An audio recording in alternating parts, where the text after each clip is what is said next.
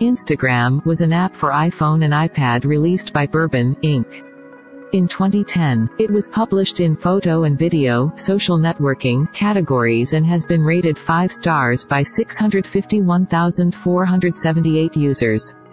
The app was available for free and does not cost any money to download.